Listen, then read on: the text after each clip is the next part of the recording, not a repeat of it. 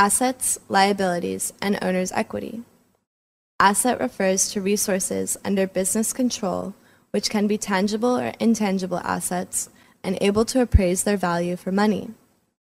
Such resources are a result of a past event that the business expects to receive economic benefits from the resources in the future, such as cash, cash in bank, receivable, car, building, office equipments, land, copyright, patent, goodwill, franchise, trademark, and so on. Assets can be divided into two categories.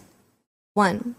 Current asset is a liquid asset that can be converted into cash or sold or used within one year according to the business operations of the organization, such as cash, cash in bank, receivables, and inventory, and so on. 2. Non current asset is the asset that cannot be converted into cash quickly, or the assets that business uses more than one year, such as long term investments, property, plant, and equipment. In addition, there may be intangible assets and other non current assets, and each asset can be separated into subcategory. Example 2.1 March 1st, 25x4. Mr. Sam Lee surveys your personal property as follows Cash, 20,000 baht. Car, 80,000 baht. Office equipment, 180,000 baht. Total, 280,000 baht.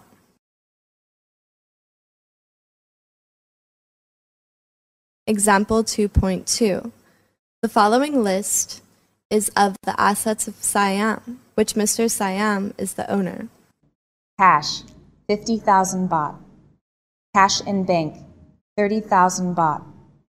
Decoration, 50,000 baht. Building, 100,000 baht. Car, 300,000 baht. Total, 530,000 baht. Example 2.3. May 1st, 25x4, store commercial trade. Assets are as follows Cash, 23,200 baht. Receivable, 17,000 baht. Decoration, 25,500 baht. Office equipment, 52,900 baht. Car, 400,000 baht. Total, 518,600 baht. Liability refers to a present obligation of the business that has to repay the third party in the future. It is a result of a past event which is expected the business to lose resources that have economic benefits. Liability can be divided into two categories. 1. Current liabilities is liability that has to be paid within 12 months from the date shown in financial statements, and the business expects to pay its liability back within the period of normal operations, including payable short term loans, bank overdraft, notes payable, etc.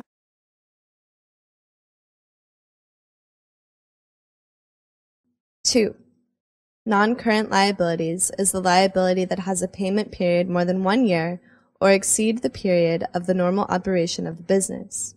It may be caused by the business loans in order to buy high priced assets such as long term loans, bonds payable, etc. Example 2.4 Miss Jan opened beauty of salon, purchased equipment on credit from Raya store, so Jan has to pay to Raya store as follows. Payable, Raya shop, 120,000 baht. Owner's equity refers to remaining equity in the assets of the business after deducted total liability. The ownership that the owner has in the assets is called net assets, assets minus liability. Owner's equity can be divided into three categories. 1. The owner of one of the owners. 2. The owner of the partnership. 3. The owner of the company.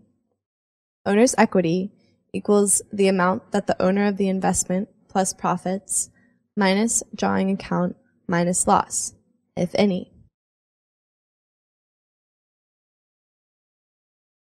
Example 2.5 held as private assets of Mr. B as follows Cash 100,000 baht.